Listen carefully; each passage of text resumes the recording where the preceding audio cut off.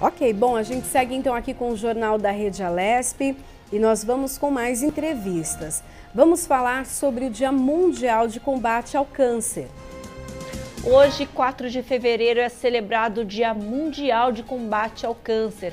World Cancer Day é, foi uma iniciativa global organizada pela União Internacional para Controle do Câncer, o ICC, com o apoio da Organização Mundial da Saúde, a OMS. Sobre esse assunto, nós vamos conversar agora com a doutora Liz Almeida. Ela é coordenadora de prevenção e vigilância do Instituto Nacional de Câncer, o INCA. Bom dia, doutora Liz Almeida, seja bem-vinda aqui ao Jornal da Rede Alesp. Muito bom dia a você e a todos os ouvintes. Doutora, o câncer foi por muito, é, por muito tempo tirou a perspectiva de quem recebia o diagnóstico, né? É receber, por, durante muitas décadas, receber o diagnóstico de câncer era uh, o mesmo que contar os últimos dias de vida, né? E hoje a, ciência e, e todo o avanço que a gente teve, isso já é, não é tão dessa forma que, que tem acontecido é, tem evoluído cada dia mais o controle dessa doença. A senhora podia falar um pouco sobre essa, esse avanço que a comunidade científica tem feito no combate, é, pra, não só para alguns ou em algumas circunstâncias para cura do câncer, outras para é, amenizar a, a, os efeitos do câncer, como que tem sido?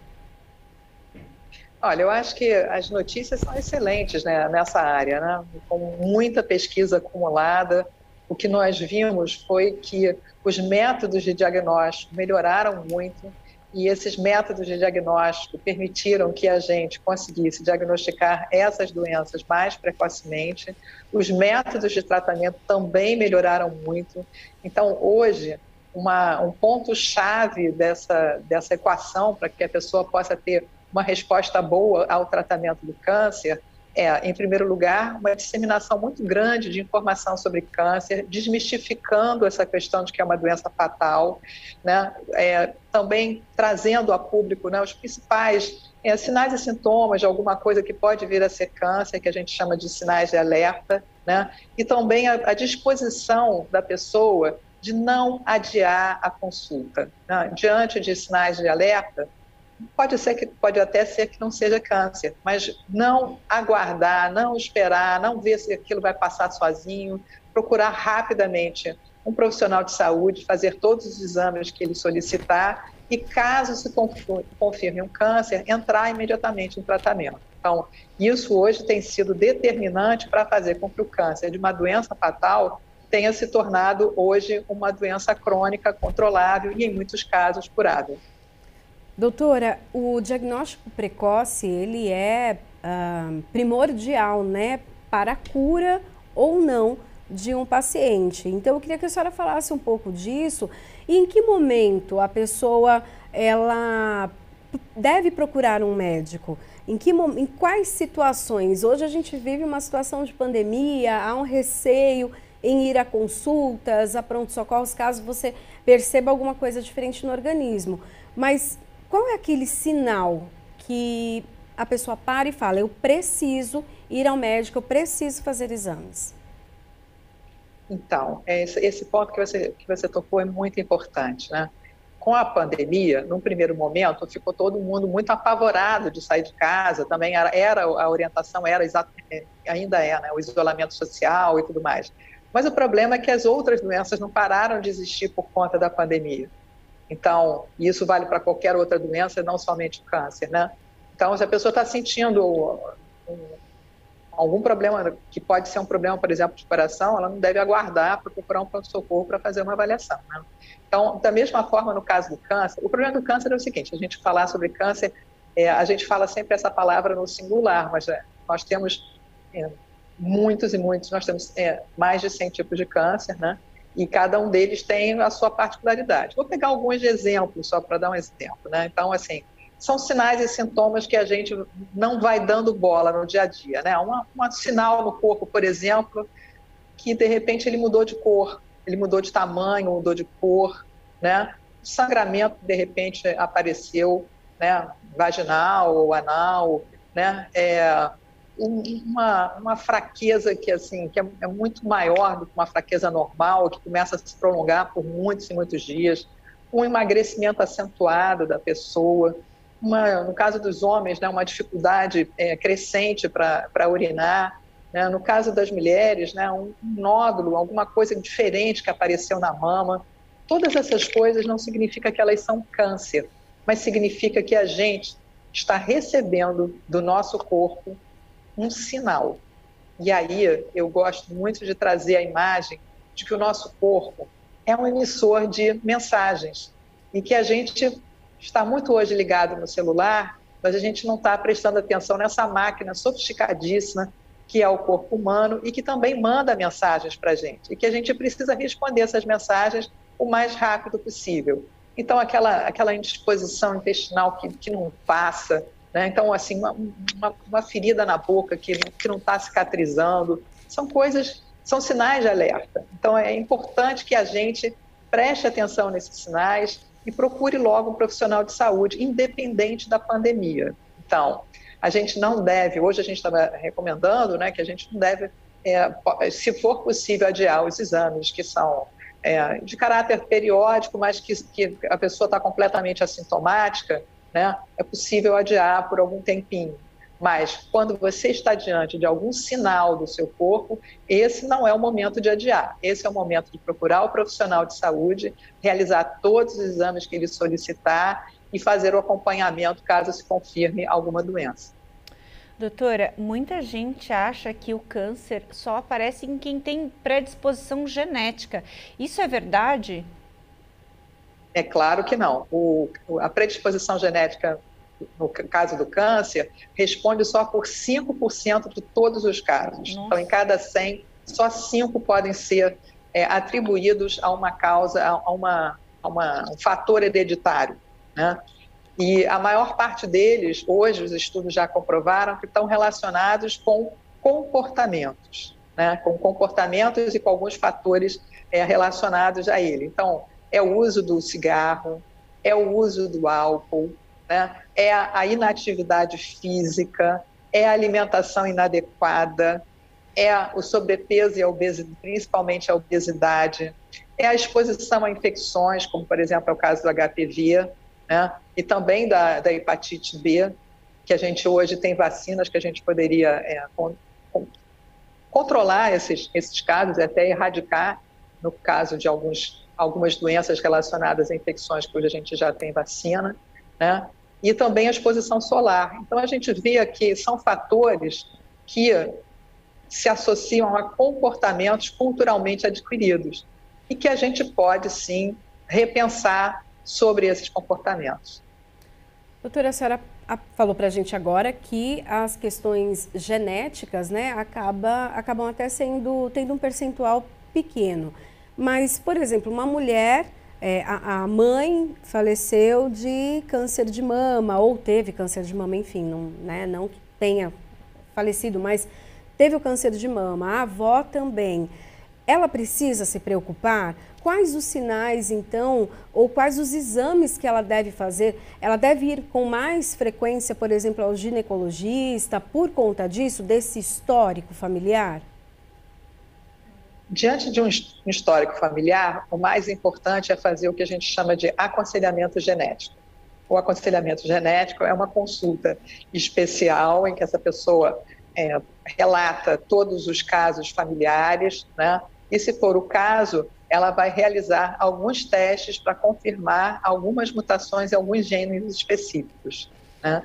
Então, aí tem toda uma conduta que é orientada a ela e também há toda uma conduta para investigação também em outras pessoas da família, caso essa é, predisposição genética é, se confirme.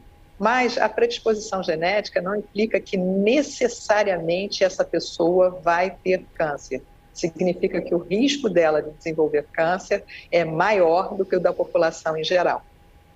Doutora, outras doenças podem ocasionar o câncer, podem chegar a um câncer? Por exemplo, existem pessoas que têm problemas no estômago, né? Gastrite, sempre tem uma gastrite. Isso pode evoluir para um câncer, caso não seja tratado. É, lembrando também que, por exemplo, a gastrite tem questões emocionais ligadas. Então, é, então essas doenças elas podem levar a um câncer ou não?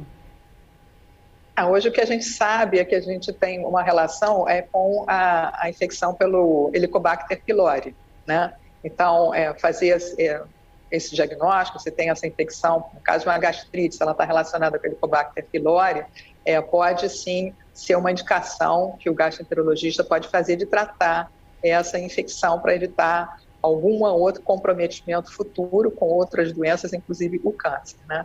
No caso da infecção pelo, pelo, pelo HPV, na maior parte dos casos, as mulheres que se infectam pelo HPV não vão desenvolver um câncer de colo de útero, mas um número reduzido de mulheres pode sim vir a desenvolver um câncer é, de colo de útero por conta do, da infecção pelo HPV. E é por isso que a gente recomenda a realização do exame preventivo a cada três anos, né, a partir dos 25 anos de idade até os 64, porque com isso a gente tem a oportunidade de detectar uma pequena lesão que ainda não é câncer, uma, uma lesão é, que é que a gente chama de uma lesão pré-maligna e que efetivamente vai é, poder, se caso ela se desenvolva, gerar um câncer de colo de útero, que aí sim vai ter um tratamento bem mais complexo. Então, tem algumas doenças que hoje a gente conhece essas lesões, por exemplo, no intestino, né? A colonoscopia, que também é recomendada a partir dos 50 anos e a cada 10 anos, é, também ela é uma, uma forma da gente pegar uma lesão que a gente chama de pólipo. E o pólipo é uma lesão que a gente considera que ela é pré-cancerosa. Então, a, gente, a retirada do pólipo evita que a pessoa desenvolva um, um câncer de intestino futuramente. Então, hoje a gente tem essa possibilidade. São pequenas alterações na pele que a gente pode retirar essa lesão e não evoluir para um, um, um, câncer de pele do tipo melanoma, por exemplo. A gente tem essa possibilidade de detectar é, lesões pré-malignas no intestino e no, no colo do útero né? E no caso da mama, quando a gente pega um nódulo já canceroso, a gente retirar quando ele ainda é muito pequeno e não vai implicar em risco de vida para a mulher. Doutora, quanto a alimentação pode contribuir com os tratamentos? A gente sabe que dentro do nosso organismo, do nosso intestino, a gente tem a microbiota, né? Que é a chamada flora intestinal, que tem as, células, as bactérias boas e as bactérias ruins. O quanto essas bactérias podem ser ativadas aí para contribuir para os tratamentos de controle do câncer uh, com uma boa alimentação? O microbioma do nosso corpo, né, nós somos um grande condomínio, né, nós temos é, trilhões de outros seres vivendo dentro do nosso corpo em paz. Né? Então, hoje a gente tem que entender que 10% do nosso DNA é humano, o restante é de outros é, animais que convivem dentro da gente. Né? Então, mas a gente tem uma relação muito benéfica, eles ajudam com a, com a digestão, com a proteção, enfim tem todo um papel. Mas sim, a gente pode, modificando os nossos hábitos, é, prejudicar essa, essa, esse microbioma e também, não só em relação a isso, mas principalmente em relação ao fato de que você comendo os alimentos é, que não são saudáveis, você também adquire substâncias tóxicas que podem também induzir a, a formação de um câncer. Além disso, a alimentação errada, ela leva ao sobrepeso e obesidade. Então, se você está fazendo uma, comendo comidas não saudáveis, uma quantidade muito acima do que o seu corpo efetivamente necessita para funcionar, você acaba fazendo um acúmulo, né? E essa obesidade produz né, hormônios que são também indutores é, de é, câncer. Então, o importante é a gente se conscientizar que é possível que a gente consiga reduzir o nosso risco individual se a gente adotar comportamentos mais saudáveis. Mas isso só não basta. Também é muito importante que políticas públicas sejam adotadas para que a gente possa combinar o esforço do indivíduo com o esforço de toda a sociedade. Então, vou dar um exemplo. Não adianta a gente dizer que os alimentos mais saudáveis são aqueles mais naturais possíveis, ou seja, legumes, verduras, frutas, e esses alimentos serem muito mais caros do que os alimentos ultraprocessados, que são de baixa qualidade alimentar. Então, é preciso, sim, que a sociedade dê um subsídio maior para esses alimentos que são mais saudáveis e taxe mais os alimentos que não são saudáveis. Também é importante, quando a gente fala em atividade física, que haja espaços públicos também é, adequados e seguros para a realização dessas atividades. Ter uma pista para as pessoas caminharem, é, ter aparelhos em praças e ter pessoas que possam orientar a utilização desses aparelhos. Então, todas essas medidas, né, por exemplo, no caso do tabaco, que é uma substância que não tem nenhuma utilidade para o ser humano, todas as medidas restritivas para proteger não apenas os que fumam, mas também os que não fumam, que são em muito maior número, são muito importantes. As restrições também ao uso de álcool também são importantes. Então, a gente ter consciência de que a exposição solar ela pode, ela é benéfica se ela é feita de, adequadamente, num horário compatível, numa, um tempo é, mínimo, né, que possa trazer prazer, mas também não possa trazer danos, é importante, mas se as pessoas não se protegem, ela passa a ser também mais uma, uma, uma fonte para o desenvolvimento de câncer. Então, tudo isso passa por uma conscientização, pelo conhecimento, pela conscientização e também pela articulação de políticas públicas. Doutora, também um, um medo das pessoas que uh, precisam tratar né, um câncer uh, seria realmente o tratamento, né? Se, usar, se usa ainda muito a quimioterapia, a radioterapia, é, mas hoje também, com o avanço da pesquisa, da tecnologia, existem drogas inteligentes, né? Como eles falam, que conseguem fazer o rastreamento ali das células realmente que estão, uh, né? Que tem o câncer e não acabam atingindo as outras células e debilitando o organismo total da pessoa. Eu queria que a senhora falasse um pouco disso, desse avanço da tecnologia, esse avanço da pesquisa, o quanto ela é importante para trazer qualidade de vida para quem enfrenta essa doença. Esse avanço tem sido não só muito mais rápido nas últimas décadas, como tem sido espetacular. E tudo isso passa pelo conhecimento minucioso de todo o processo que a gente chama de carcinogênese. Então, quando a gente consegue compreender todo o passo a passo que acontece dentro do nosso organismo e a gente consegue é, visualizar pontos chaves para a interrupção do processo dessa proliferação de células que acaba formando esse tumor, a gente consegue também induzir a produção de substâncias que vão bloqueando esse passo a passo dentro do nosso organismo. Então, pensar que o câncer, na verdade, é a, a produção de uma célula que, ao contrário das de todas as nossas outras células, passa a se tornar imortal e passa a se reproduzir é, indefinidamente. Né? A gente tem é, sistemas muito sofisticados dentro do nosso organismo para impedir que isso aconteça no, no, de uma forma geral durante a nossa vida. Mas caso isso consiga ultrapassar todas as nossas barreiras que nós já temos, né?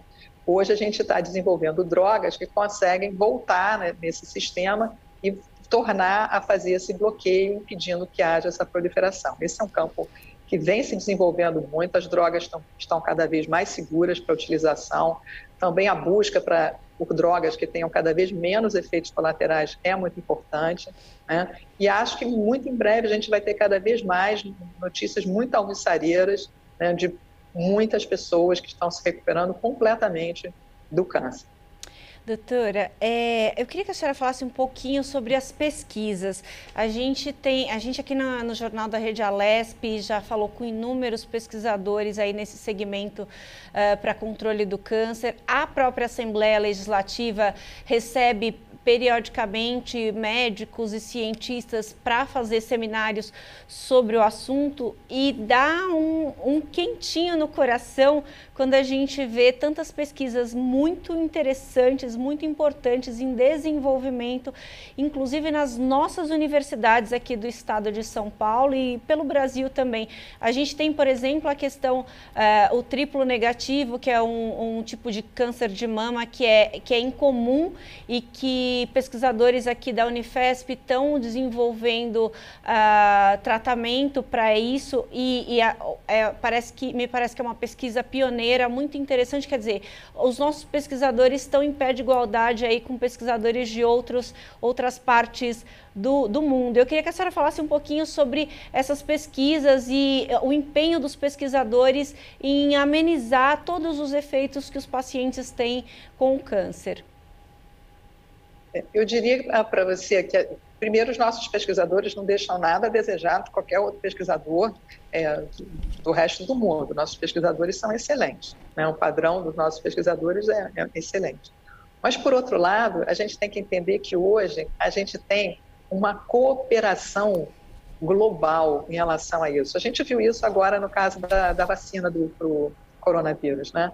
O quanto que os cientistas se juntaram e uniram forças e trocaram né, informações uns com os outros para o desenvolvimento de vacinas. Hoje a ciência também avança assim. Né? A gente tem hoje uma forte colaboração né, entre os centros, né, para que a gente possa, cada um fazendo um pedaço, atingir mais rápido esses, esses tratamentos. Né? É, então isso é, isso é muito importante, porque os nossos cientistas eles também não estão isolados aqui no Brasil, não. Eles também estão em parcerias com consórcios internacionais e nós estamos trabalhando juntos para que a gente possa avançar nesses tratamentos o mais rapidamente possível. Doutora, eu queria que a senhora falasse um pouquinho para a gente do INCA, o trabalho que realiza, de que maneira, então, acaba impactando na saúde e na vida né, de pessoas que enfrentam essa doença. O Instituto Nacional do Câncer ele tem uma missão nacional. Então, nós não fazemos apenas o tratamento, por exemplo, mais especificamente da população aqui do estado do Rio de Janeiro, mas nós temos também atividades intensas na área de ensino, pesquisa, prevenção e vigilância.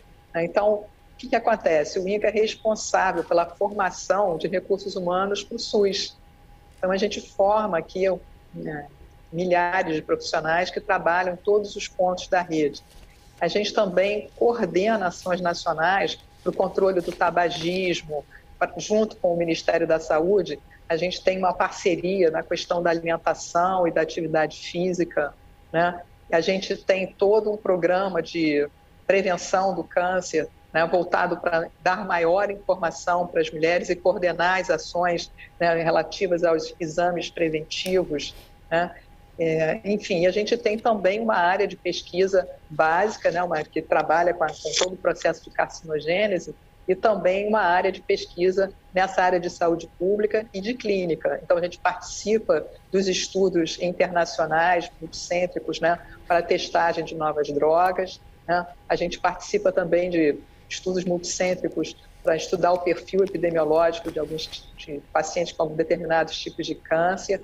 Enfim, nós somos hoje um centro que se caracteriza por ter essa responsabilidade de assessorar o Ministério da Saúde nas questões que dizem respeito à, à política é, de controle do câncer no país. Nós somos muito zelosos, somos muito ligados a, esse, a essa missão que é olhar para todo o país e também estar atento às desigualdades no acesso ao diagnóstico e ao tratamento do câncer. Então, a responsabilidade nossa estudar as diferenças no país, dizer, olha, tem prioridade aqui na região X para tal tipo de câncer, tem prioridade para o câncer Y nessa outra região, tem que dar um, olhar especial aqui para esse grupamento aqui especial de pessoas. Então, esse papel de olhar esse Brasil que a gente vive aqui, que, é tão grande, que tem uma população enorme e que tem tantas diferenças socioculturais e relativas ao acesso a serviços de saúde, é também a nossa missão.